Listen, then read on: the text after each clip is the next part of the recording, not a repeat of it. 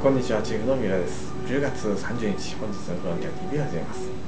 今日はマラドーナの誕生日ですね。今日誕生日の方おめでとうございます。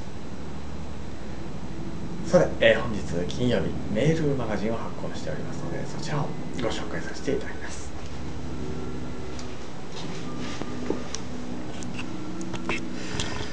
はい、メールマガジンは今回で232回目ですね。1番目不動産クイズラーメン構造つけ麺構造実際にあるのはということでですね。答えはメールマガジンの一番下来週のフロンティア TV やブログでも紹介させていただきます。先週のクイズはですねエアコンの数え方はということで正解は1台とかですね。1機、えー、と数えます。この数字の後につくですね、えー、ものっていうのはこんだけあるんですね。なかなか使わないものがありますけども実際にいっぱいありますよね。2番目は不動産クイズで、えー、本日のですねブログにも掲載してありますが、えー、スバルハイツこちらの物件、ねえーまあ、85点ぐらいでしょうかね。2LDK、の物件でございますね。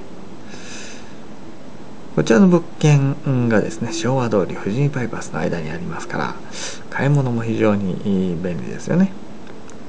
はい、こちらの間、ちょうど間ぐらいですかね。はい、あちょうどでもないですね。すいません。え1階上の1番6が空いてますけども、1階がですね、駐車場になってるんですね。で1階の106というのが秋予定ですね、えー、出まして、えーまあ、回数で言えば2階にはなりますけれども、えーまあ、その一つ上の動画があるんですね、えー、そちら参考にしていただければと思いますね。はい、えー、最後地域情報あります、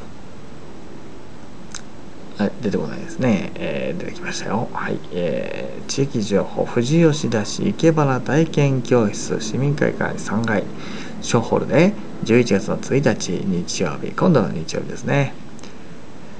えー、ございます。えー、富士河口湖町は、はい、明日から富士河口湖紅葉祭り、えー、口が回らないですね。えー、が開催。来月の23日までですね。9時から19時ですけどライトアップは22時まで、えー、まあ、仕事終わりでもですね。見に行けるんじゃないでしょうかね。はい。結構癒されるんで時間あった方見に行かれてはいかがでしょうか。は